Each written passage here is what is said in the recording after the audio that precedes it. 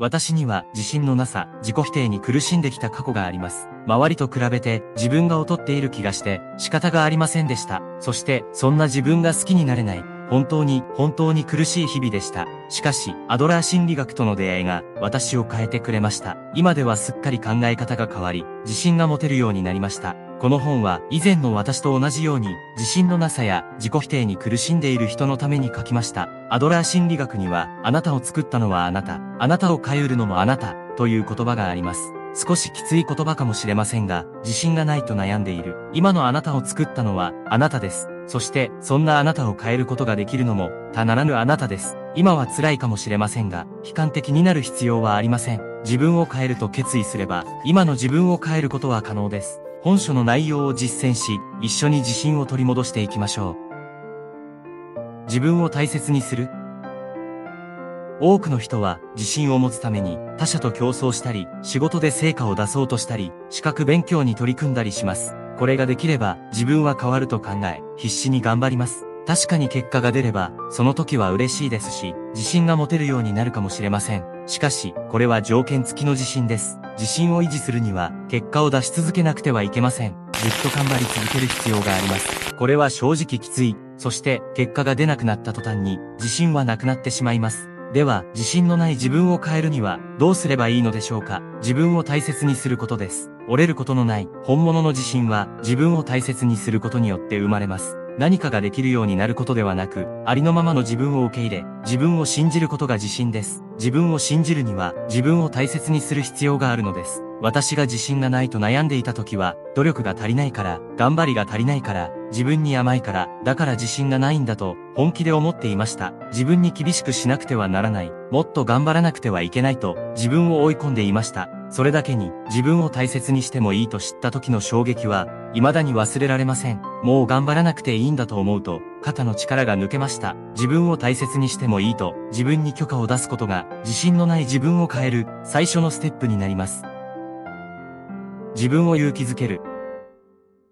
自分を大切にしてもいいと分かったら、次に取り組むのは自分を勇気づけることです。アドラー心理学では勇気という言葉がよく出てきます。勇気とは上司に反抗したり、売られた喧嘩を買うといった万有ではありません。勇気とは困難を克服する活力です。そして勇気づけとは困難を克服する活力を与えることを言います。自分を勇気づけるのに有効なのがセルフトークを見直すことです。セルフトークとは自分にかけている言葉のことで、人は1日に23万もの言葉を自分にかけていると言われています。そして私たちは自分でも気がつかないうちに自分にマイナスのセルフトークをかけ続けています。マイナスのセルフトークで、どうせうまくいかない、あ、疲れた、なんて自分はダメなんだ、失敗したらどうしよう、嫌われたくない、こんな言葉を1日に23万回もかけられたらどうでしょうか前向きになれるわけがないし、そのうち体を壊してしまいそうですよね。日頃自分に対してどんな言葉をかけているか一度書き出してみましょう。マイナスのセルフトークが分かったら、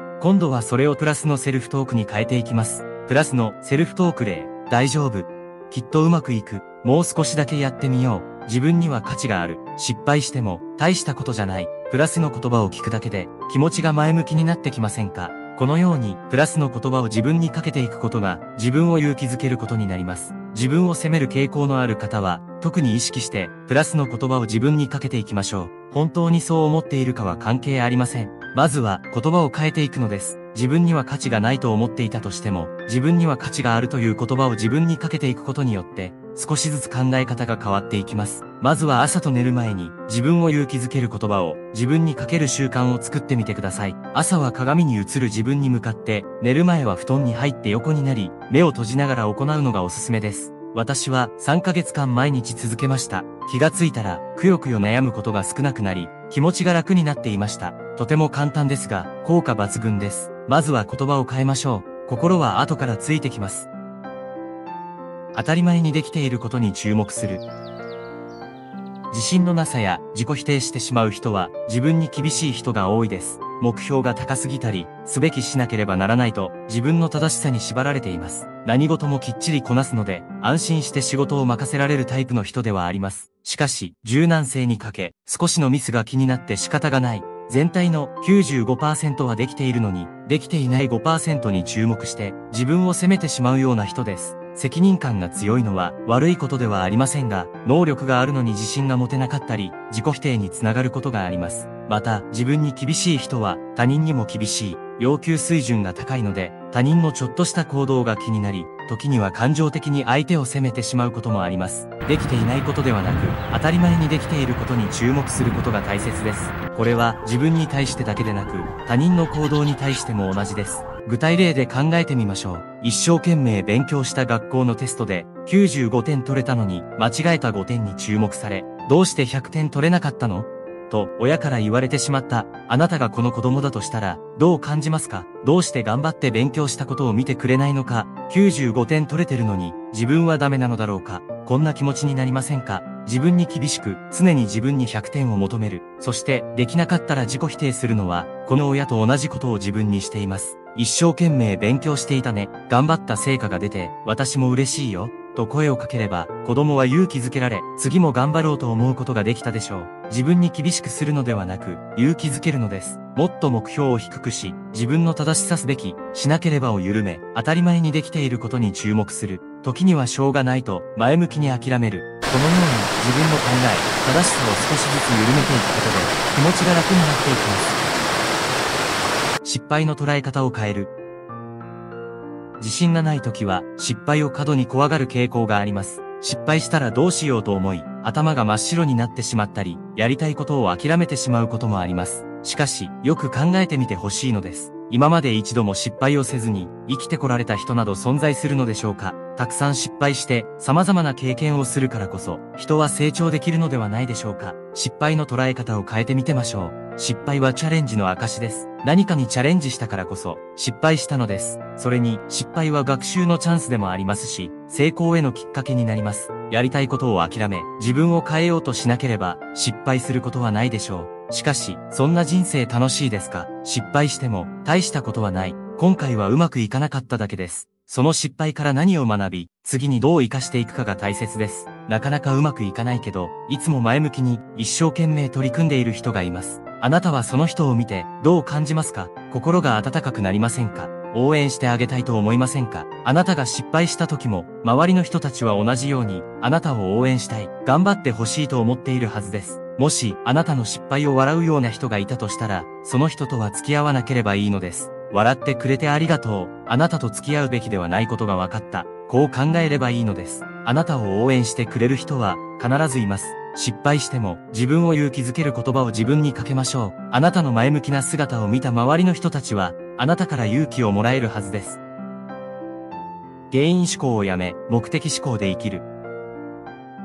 何かうまくいかないとき、多くの人はうまくいかない原因を考えます。自信がない人であれば、どうして自信がないのかを考えるでしょう。能力がない、容姿が良くない、学歴がない、他人とうまく話ができないなど、自信がない原因はいくらでも見つかります。そして、だから自分はダメ、何をやってもうまくいかないと自己否定する。このように原因に注目するとうまくいかない理由ばかりが見つかり、自己否定につながりやすくなります。それに原因探しは解決につながりません。過ぎ去った過去の出来事や自分にコントロールできないことをいくら嘆いたところで何も変わりません。アドラー心理学には目的論という考え方があり、人間の行動には目的があると考えます。自分は何をしたいのか、どうありたいのかという目的に注目し、今の自分に何ができるかを考える習慣を持ちましょう。原因ではなく、目的に注目する習慣ができると、過去ではなく、現在から未来に注目できるようになります。うまくいかない原因ばかり考え、だからうまくいかないと自己否定するのは原因思考の生き方、目的のために今の自分に何ができるかを考え、ベストを尽くすのが目的思考の生き方です。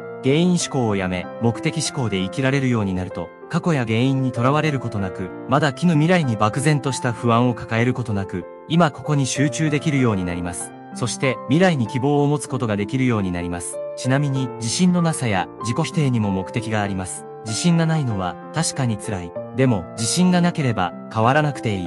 新しいことにチャレンジしなくていい。たとえうまくいかなくても、自信がないから、自己否定してしまうから、だから私はうまくいかないんだと、自分を正当化できる、やりたいことや、人生の課題から逃げることができるのです。つまり、あなたは今、自信のなさや、自己否定を必要としているのかもしれません。これに気づくだけでも、自信のない自分を変えるきっかけになります。普通である勇気を持つ。インターネットや SNS が普及した現代では、日々様々な情報が入ってきます。芸能人やスポーツ選手の活躍が称賛され、毎日ニュースで取り上げられます。彼ら彼女らは諦めないで頑張ってきたから今がある。子供たちに諦めないで頑張る大切さを伝えたい。と言います。あなたも諦めないで努力すれば特別な存在になれるというメッセージと捉えることができるかもしれません。確かにスポーツや芸能、あるいは経営などで結果を残せたのは諦めずに努力してきたからでしょう。しかし諦めずに努力すれば必ず結果が出るのでしょうか私たちは心のどこかで特別でありたいと願っています。特別な人たちの活躍を意識しながら、自分も特別な存在になるために頑張り、努力し、能力を上げようとする、あの人のように頑張り続ければ、いつか自分も特別な存在になれるんじゃないかと期待しながら、逆に、本当はやりたいことがあるのに、忙しいから時間がないからなどと、言い訳をしてやらないのは、可能性を残しておきたいからです。言い訳をして逃げていれば、やりたいことに取り組むことはできませんが、特別な存在になるという可能性を持ち続けることはできます。頑張ると逃げる。逆の行動ですが、どちらも特別でありたい、可能性を残しておきたいという目的は同じなのです。残念ながら、全員が特別な存在になることはできません。特別であろうとする生き方は、オリンピックで金メダルを目指す生き方と同じです。金メダルを目指すことが悪いわけではありませんが、金メダルを獲得できるのは、一人だけ、金メダリスト以外は諦めなければなりません。私たちに必要なのは普通である勇気です。私たちは普通でいいし、普通でも価値があるのです。普通である自分を受け入れましょう。無理に特別である必要はありません。普通でいいと思えるだけで楽に生きられるようになります。自信とは何かができるようになることではなく、今の自分を受け入れることなのです。自己ベストを目指す生き方にシフトする。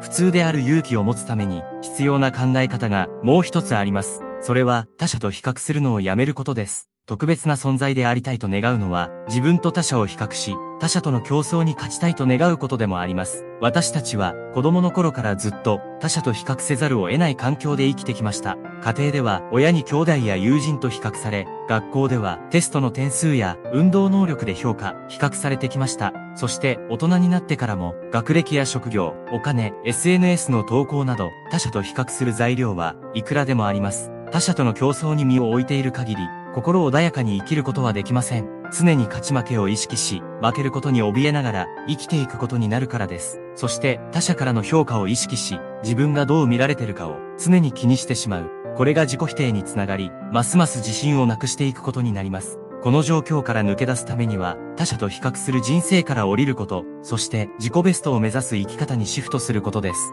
他者ではなく、今までの自分と比べて、よりよく生きることを目指すのです。アドラー心理学には、課題の分離という考え方があります。何か取り組まなければいけない課題があるとき、それは最終的にその責任を引き受ける人の課題だと捉えます。常に他者と自分を比較している人は、周囲の目線が気になって仕方がないかもしれません。しかし、他者が自分をどう評価するかは、他者の課題であって、あなたの課題ではありません。他者をコントロールすることは不可能です。そして、あなたがどのように生きていくかは、あなたの課題です。自分の生き方は自分で決めることができるのです。課題の分離を意識して自分にコントロールできないことは切り離し自分にできることに注目しましょう。あなたにできることは今の自分に何ができるかを考えよりよく生きていくことだけです。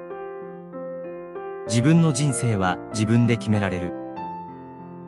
あなたに流行りたいけど今はできないと思っていることはありますか？勉強したいけど忙しいからできない。運動したいけど、時間がないからできない。旅行したいけど、仕事があるからできない。やりたいことがあっても、多くの人は様々な理由でできないと言います。しかし、本当にできないのでしょうか？試しにできないをしないに変えてみます。勉強したいけど、忙しいからしない。運動したいけど、時間がないからしない。旅行したいけど、仕事があるからしない。この例文を見て、どう感じますか？あなたが実際にできないと思っていることでやってみると、より効果的です。私たちは様々な理由でできないと言いますが、実際はしないと自分で決断しています。アドラー心理学には自分は運命の主人公であるという言葉があります。人間は運命に左右されるのではなく、自分で運命を作っていく。この考え方を自己決定性と言います。はじめにで紹介したあなたを作ったのはあなた。あなたを変えるのもあなた。という言葉もアドラー心理学の自己決定性を表す言葉です。自分の人生は自分で決めることができます。あなたが決意すれば自信がない自分を変えることもできるのです。まとめ。最後にまとめとして、自信のない自分を変えるためにやるべき14のリストを紹介します。私が自信がない自分を変えるために実践したことです。いきなり全てをやる必要はありません。今までの本書の内容を踏まえた上で、できることから少しずつやってみてください。ただし、1だけは最初にやりましょう。自信のない自分を変えるためにやるべき14のリスト。1自分を大切にすると決める。まずは自分を大切にすると決めましょう。これは自信のない自分を変えるための大前提。本物の自信は自分を大切にすることによって生まれます。に自分を勇気づける、セルフトークを見直し、マイナスの言葉をやめて、プラスの言葉を自分にかけていきましょう。朝と寝る前に自分を勇気づける言葉をかけるのを、まず3日間やってみてください。続ければ続けるほど、気持ちが楽になっていきます。私は3ヶ月間毎日やりました。さあ当たり前にできていることに注目する。自分が日頃当たり前にできていることに注目しましょう。朝起きる、食事をする、歯を磨く、会社に行く、挨拶する、仕事する、できていない5%ではなく、当たり前にできている95%に注目しましょう。あなたはできないことよりも、できていることの方が、はるかに多いのですから、4理想目標を下げる、特別な存在になる必要はありません。普通である勇気を持ち、思い切って理想目標を下げてみましょう。心穏やかに生きるには、他者と比較するのではなく、自己ベストを目指す生き方にシフトすることが大切です。5失敗の捉え方を変える。失敗の捉え方を変えましょう。私たちは失敗するからこそ成長するのです。失敗はチャレンジの証であり、学習のチャンスです。失敗を前向きに捉えることを意識してみてください。6反省しない。反省という名の原因探しは、解決につながらず、自己否定につながりやすいです。思い切って反省するのをやめてしまいましょう。うまくいかなくても、自分を責める必要はありません。7今の自分に何ができるかを考える。過去と他人は変えられません。しかし、未来と自分は変えられます。迷ったら、今の自分に何ができるかを考えましょう。考えたら、あとは実行あるのみです。自分にコントロールできることだけに集中しましょう。8気が乗らない誘いを断る。行きたくない飲み会など、気が乗らない誘いを勇気を出して断ってみましょう。あなたはもっと自分を優先していいのです。断るのに理由はいりません。必要なのは勇気だけです。9褒め言葉を否定せずに受け取る。せっかく褒め言葉をもらったのに、いやいや、自分なんてと受け取り拒否していませんか褒め言葉をもらったら、否定せずに、ありがとうございます。と感謝して受け取るようにしましょう。自分への勇気づけになりますし、相手にも喜んでもらえます。10自分のためにお金を使う。お金を使うのを我慢していませんか本当に欲しいもの、学びたいもの、旅行など自分のためにお金を使ってみましょう。節約も大切ですが、いつも我慢ばかりだと自分はお金を使う価値がない人間だと自分にすり込んでいるのと同じです。必要なものにはお金を使う。それは学びや経験となって自分に返ってきます。11読書する。読書はすべきという自分の常識を見直す機会を与えてくれます。著者によって考え方が違うので、いろいろな考え方に触れることで、自分の考え方が変わることもあります。私は読書に助けられた部分がとても大きいです。特におすすめなのは、アドラー心理学の本、心に関する本をたくさん読んでみるといいでしょう。12自分の本音を告白する。自信がない時ほど、悩みを誰にも打ち明けられない傾向にあります。自信がないという、その悩み本音を、心を許せる誰かに思い切って告白してみましょう。自信のなさを必死に隠している時が、一番苦しい。話すは話す。誰かに話すだけで、心が楽になります。13やりたくないことリストを作る。やりたくないことリストを作ってみましょう。実現できるかどうかは無視して、自分の気持ちに素直に、やりたくないことを、紙に書き出すのがコツです。出来上がったリストは毎日眺め、できれば声に出して読むことをお勧めします。そして実行できそうなものをまず一つやめてみましょう。やりたくないことが減るほど心も楽になっていきます。14やりたいことリストを作る。やりたくないことが減って余裕が出てきたらやりたいことリストを作るのもおすすめです。これも実現できるかどうかは無視。何の制約もなかったとしたら何をやりたいかを書いてみましょう。これをやるとすごくワクワクしていきます。これも毎日眺め、声に出して読みましょう。一つ実現するたびに自分が変わっていくのが実感できます。後書き。最後までお読みいただき、ありがとうございます。数年前まで自信がなく、自己否定ばかりだった自分が、このような本を書くことになり、本当に驚いています。振り返ると自分を大切にしてもいいと知ったその日から私の人生は少しずつ変わり始めました。サラリーマンをしていた私はやりたくないことリストを作りました。実現できるわけがないと思ったことも全て書き出し、時間があれば眺めていました。驚くことに満員電車通勤を辞める会社を辞めるをはじめ、書き出したことのほとんどは達成できています。その後、作成したやりたいことリストも同様です。一人で仕事をする家族との時間を増やすブログを書くなど、当時の私には考えられなかったことを実現することができました。自信がない自分を変えるために必要なのは何かができるようになることではありません。自分を大切にすることです。ありのままの自分を受け入れ、自分を勇気づけ、自分を大切にすれば、現実は変わり始めます。自信がない自分を変えると、強く決意してみてください。あなたを変えることができるのは、あなただけです。本書を読んでいただいたすべての方が、ご自身の本当の価値に気づき、自信を取り戻すきっかけを提供できたとしたら、著者としてこんなに嬉しいことはありません。